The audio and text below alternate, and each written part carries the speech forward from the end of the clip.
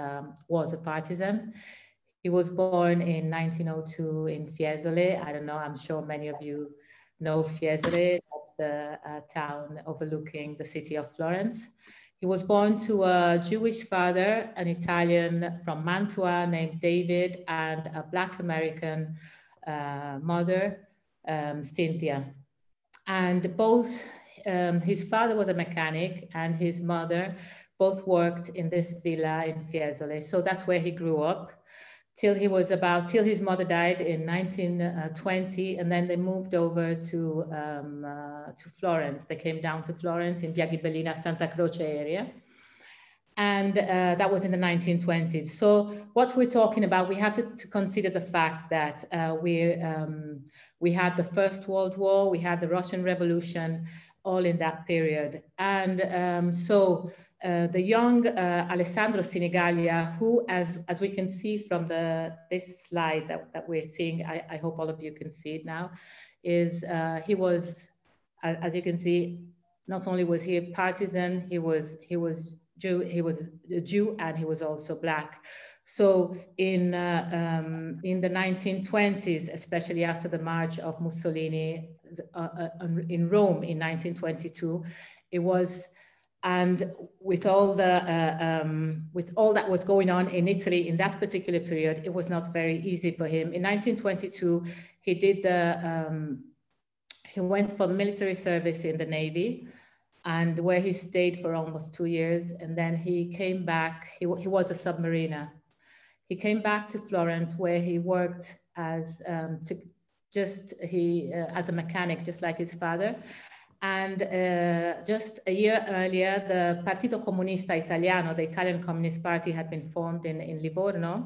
We celebrated the 100 years anniversary just a few days ago. And um, he decided to join the, the Communist Party. And in uh, this Communist Party, obviously with the advent of the fascism in 1926, it was declared illegal. So he was part of the illegal communist, uh, Partito Comunista Italiano. So um, in uh, uh, what happened, he stayed in Florence, but he was, um, because of, as I was saying, because of the oppression, because of the, uh, of, uh, excuse me if I'm being, if I'm a bit, um, I hope you understand, but um, anyway, in nine, he had to he had to leave Florence in Italy. He had to leave Italy in 1928 because of the because of his political views, and he went to France. From France, he went to he was sent to Moscow by the by the by the Italian Communist Party to go to political school there, where he worked as well and where he learned the language.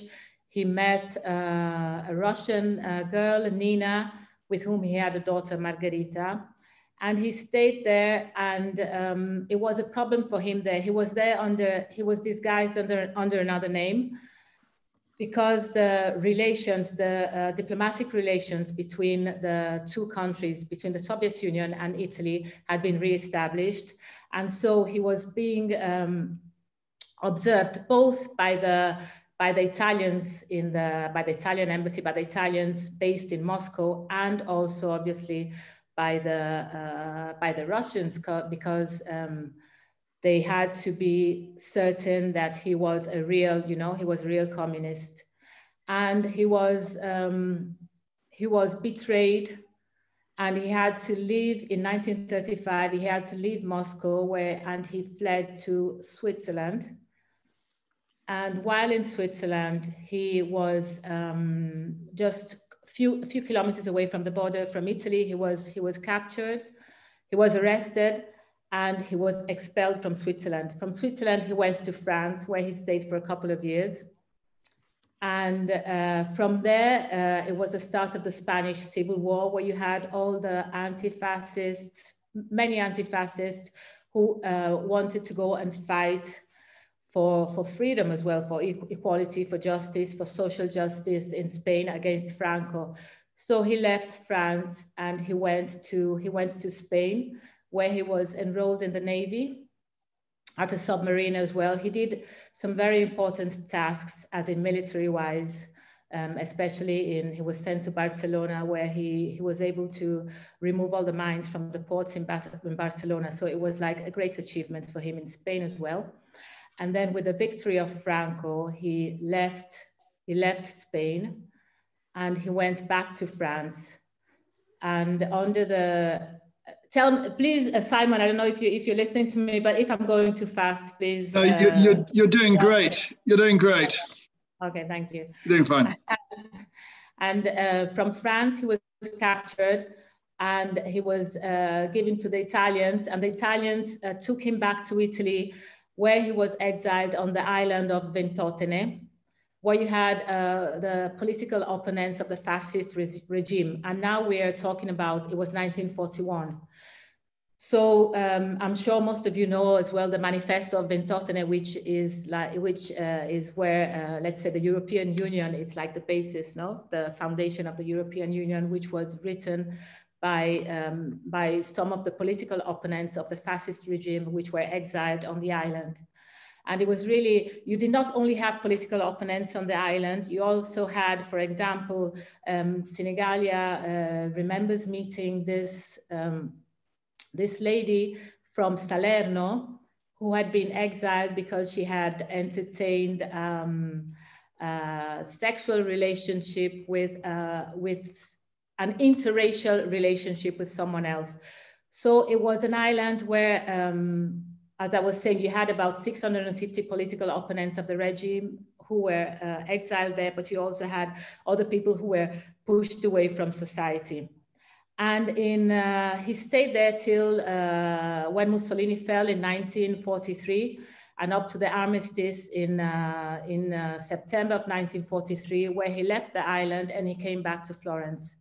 When he was here in Florence, because of all the military skills he had gained while abroad, he was able to organize um, the the, let's say, the, the, partisans, obviously, the rebels who had armed skills into the GAP, GAP, which were the, uh, the, the, skilled forces, armed forces who were fighting, who were fighting against the, the Nazi fascists in, in, the, in, in the country, in the territory. So um, Sinigaglia, as I was saying, he founded the GAP, which were fundamental for the liberation of not only obviously of Florence, of Tuscany, but uh, of Italy on the whole. And he was, um, he, uh, he continued with uh, um, him and the rest of the people forming the gaps would, for example, um, uh, set, um, destroy railroads and also do uh, some uh, um, some uh, even even even just symbolic um, not only murders but also symbolic acts to show the people of Florence. I'm not only in Florence, obviously, but pe the people of Tuscany and Italy as well, that the fascists were not um, did not have total control of the territory. So he was really um, he was well known. Obviously, he could be he was easily recognizable as well because as we, he was we were saying we're talking about uh, someone who was um, physically let's say uh, uh, uh, different compared to the other to, to, the other members of the partisan groups of the Gapists and um, in 1944 which was only a year after he had come back it was in February 13th of February 1944 of 77 years ago he was in Via Pandolfini. He was having lunch in a trattoria, and where he was um, he was recognized, and he was uh, um, there was a group of the Banda Carità. I, if many of you know Italian, Carità normally means compassion and uh, uh, charity, but um, the Banda Carità uh, uh, took the name from uh, um, a very violent, from Mario Carità, a very violent fascist group which, okay, now on the slide, you can see the, the arrow is right on him on, um, that's the group de la Banda Sinigaglia. You have Ponente, you have other members of the, of the GAPs, the Gapists. And as I was saying, he was uh, caught at, he was caught just outside when he was leaving the trattoria. He tried to escape, but he was shot five times in the back by the fascists. And um, obviously the place where he where he lost his life we now have a plaque in Via Pandolfini saying uh, this is when uh, Alessandro Sinigaglia uh, uh, was, was, was killed. He was, he was given the Silver uh, Medal of Honor and uh, later on the 22nd Brigata Brigade, the Garibaldi Brigade, that's the, that's the plaque. The Garibaldi Brigade was named after him. So it was the um, Brigata Alessandro Sinigaglia. He was also known as Vittorio. And it was the first uh, brigade who entered Florence to free Florence in August of the same year of 1944 from Porta Romana. We have some pictures. I'm sorry, I don't know if we'll be able to see them, but um, and so uh, okay, this is. I'm sorry if I, I, went maybe I went a bit too fast with the talking about Alessandro Sinigaglia, but I think that the most important thing is that most people here in Florence uh, know the importance of the Brigata Sinigaglia. We've been celebrating and commem commemorating the Sinigaglia Brigade for years, but not many people know that he was, uh, not many people know who he was. They don't know uh, uh where, uh, what his life, what his biography was, and especially they don't even know that he was, he was black. And I think in contemporary Florence, it's very important to uh, learn the history of the people who made Florence to be what it is, or what it was in, in uh, straight after the war, as in uh, it was uh, uh, Medaglia d'Oro alla Resistenza, the whole city, no? a golden medal for resistance. Because as I was saying, they um, were free in 1944, almost a year before the end of the war. And um, uh, lately, uh, I think it's the time has come. Well, obviously, uh, even before, but I mean now, in 19 in uh, in 2020, especially especially with what happened uh, right after the incident, let's say the Black Lives Matter movement, which uh, in uh, after George Floyd's death, and where globally, just about everywhere from Sierra Leone to uh, France to, to Italy, where people have been uh, conscious of what's uh, uh, structural, let's say, uh, discrimination. And where we're not only asking to defund the police, as people may think, but we're, we're trying to um, let people be aware of who in the past and in the present and in contemporary time of uh, the, the presence of, um, of Black, of Afro descendants. Um, now we're, we're now we're in Florence, obviously, so we're talking about what they represent here in Italy. As I was saying, uh, following what happened in, uh, in, uh, in, in, to George Floyd, um, we, we had all the movements, for example, here in Rome, uh, an important thing that took place that had to do that has to do with another black partisan, which is Giorgio Marincola. Maybe there's a picture of uh, Giorgio Marincola we can see as well, who was um, he was he was born in uh, in 1923, so he was um, 20 years older. He's, that is Giorgio Marincola. He was born in 1923 in Somalia, and then he came over to to to Italy, in the in the south of Italy, where he studied. And then following the armistice in 1943, he became a partisan as well. He was, um, I'll, I'll, go even faster with Marincola's uh, story. He was captured and then he ecco, was... adesso c'è scritto, l'audio del microfono è stato riattivato. Oh, sorry. And then he was, um, okay, in, uh, as I was saying, in 1943, uh, Giorgio Marincola became, he went, he became a revolutionary, he was captured.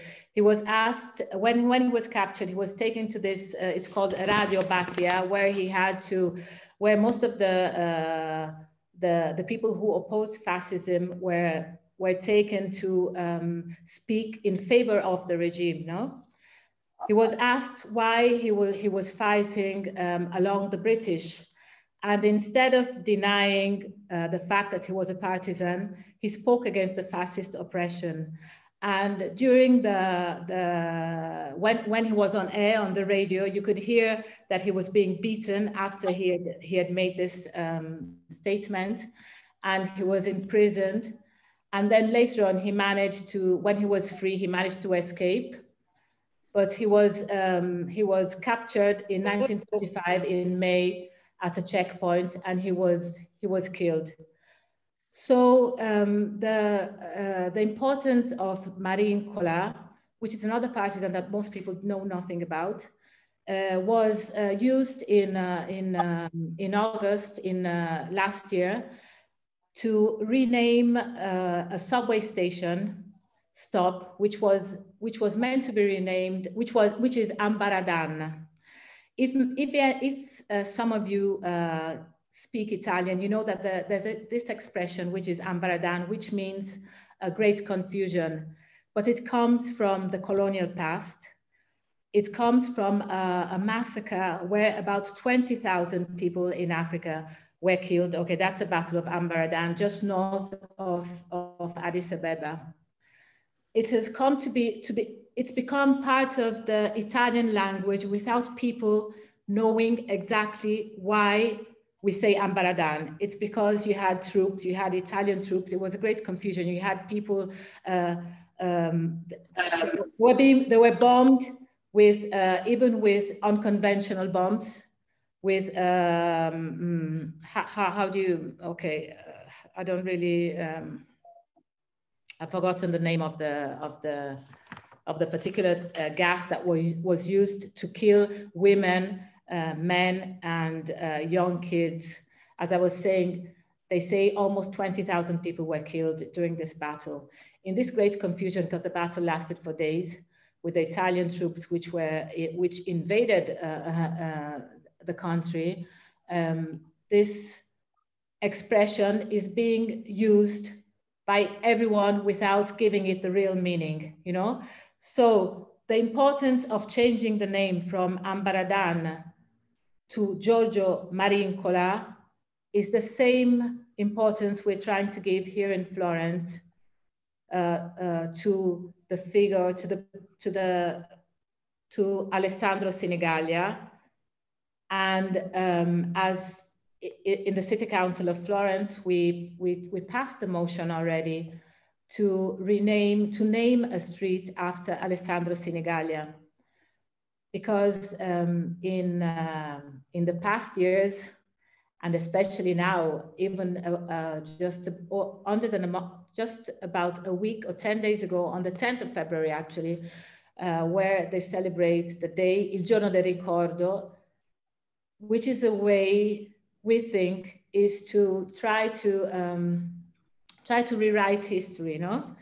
Try to say that the Giorno della Memoria, which is just two weeks earlier, on the 25th of January, the uh, Giorno della Memoria, which is the day, the day of the memory, uh, where, where we, um, we, we pay homage to the millions of people that were killed in the Second World War and where we're trying to um, we're, we're trying to keep the memory alive because obviously we're talking about 70 years ago 80 years ago actually where most of the people who took part in the in the in the fight most of the people who witnessed it um, physically are um, slowly obviously because of old age we're, we're slowly losing the memory. And so we think that a partisan which is tied to such an important um, fact that happened during the Second World War, which is uh, here in Florence, here in Italy, we think it should be, um, it it's necessary for, the, for Italians, not only for Italians, but for people in Florence, mainly for, for the Florentines to know who we're talking about when we're talking about the great Alessandro Sinigaglia. Um, Simon, uh, I don't know if you can, uh, uh, uh if you want to say something, but as you, as yeah, you. Um, well, I, what, what, I want to say is, is thank you very much, Antonella, for um, very courageously um, telling us the story. I know because we were speaking off off air um, that the um, invasion we suffered at the beginning was very unsettling and and difficult for you. So uh, respect for your courage in, in uh, continuing with the talk, which was fascinating and certainly told me many things uh, that I didn't know. I'm afraid we can't do a conventional qu question and answer. Um, I don't think we want to take that risk tonight because um, I, I recognize many of the names, but I don't know exactly who's who's out there on the Zoom. So I don't want to um, open it up to discussions. Um, I, I, I will um, say, uh, I'll ask you, um, Antonella, if you could tell us a little bit more about the work of Black History Month uh, and ways in which people um, might be able to get in, involved if they wanted to. Yes, yes, and um, I'll, I'll, be very happy to talk about Black History Month because, as you may know, but I'd like to, uh, if it's possible, if we can ask, I don't know if Justin can say something, Justin Randolph Thompson, because he's the co-founder mm-hmm. of Black History Month, and I'm suppose, and I suppose he'll be. Uh, I'm trying to find him. Are you there, Justin? Okay, it's the sixth edition, by the way. It's the sixth edition of Black History Month here in Florence.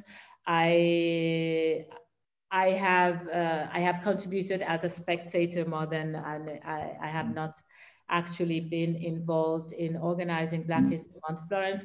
But I think, as we were saying um, yeah, uh, just on Monday on the radio, that it's really important for people to know uh, what's going on, not only not only in February, because normally Black History Month, as you all know, is being celebrated in um, as in the United States, in Canada, and in England just for a month. Uh, echo, echo Justin, maybe Justin, maybe Justin can. Uh, I, I, think, I think um, you are you muted? Off you go, Justin. Say, say something.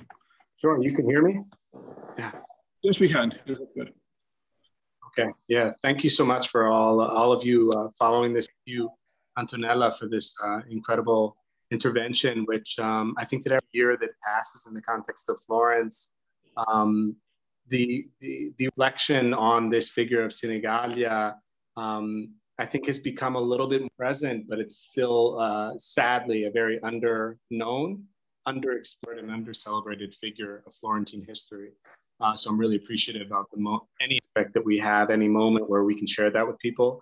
And I wanted to just make a quick note that um, every year on the anniversary um, of his death, there's a gathering at the um, plaque in Via Pandolfini, where songs dedicated to Sinigaglia are sung. And it tends to be an event, it's organized by Piol Tragno, um, that has a good presence, but I think that we more people out there because um, I think that that physical presence there is something that allows us to understand the importance of this figure and why we need to, to celebrate it.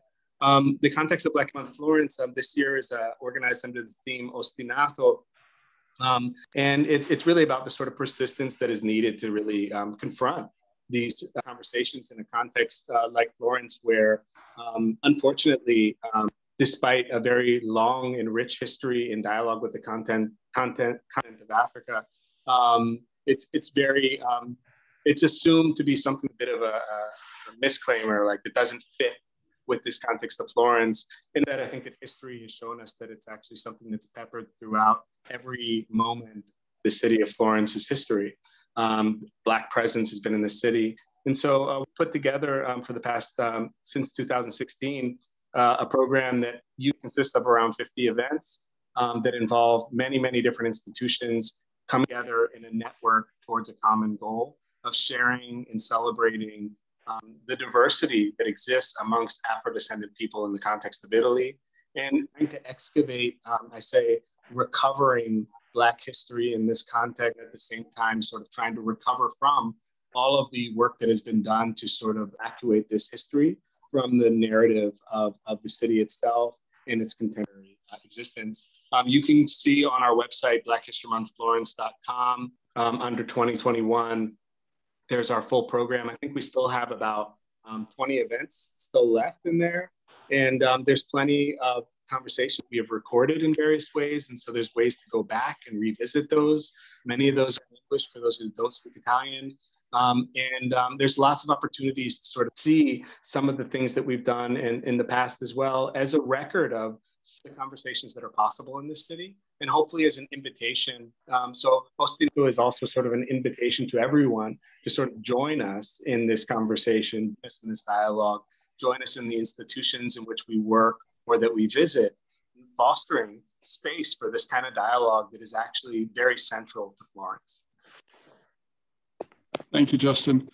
Um, I, am going to relax the rules a little bit. I can see familiar faces. So if, if you want to intervene, first of all, show your face and put your hand up. And if I know who you are and therefore can trust you, I'll, I'll invite you to speak.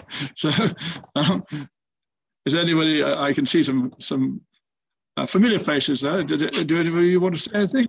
Uh, or somebody else wants to come in by, by showing us your face and putting your hand up? A compulsion. I think we're all yeah. a bit, uh, all a bit shook up. Yeah. Yes, exactly. Anyhow. All right. I I I think I'm I'm I'm just going to do. There's nobody else wants to come in. I'm going to do um, one last thing before we wrap up. Um, as you know, regulars to the, the Wednesday lectures, I, around about now, I make my regular weekly plea to uh, ask people if they would like to make little donations to help the Institute along. Um, I'm going to ask you uh, again, if you would like to donate in any amount you can to the British Institute's Just Giving uh, pages, please do so. But everything that is, uh, that is donated this week, we will pass on to Black History Month. Um, so um, please make your donations and we will pass it all on to Black History Month to, um, as a small gesture of solidarity. Um, uh, on which note, I will, uh, I think, thank you all for returning um, and for standing with us through a difficult evening. Huge thanks to Antonella for your courage and for sticking with it, even though it was horrible at the beginning big thanks also to Justin for helping Sarah at the back end to um, re-establish it so it could be safe um, and we could keep the trolls out. Um, and um, we learn and we move forward. Um, and I just say power. All luck to you, everybody. And thank you very much indeed. Grazie. All right. Good night, everybody. So. Grazie. Thank you. All right. Thank you. Um, we'll, we'll wrap it up there, but please do make us the, donation so we can help Black History Month out. All right. Good night, all, and we'll see you all next week with Jeremy Boudreau back to the safe area of sculpture.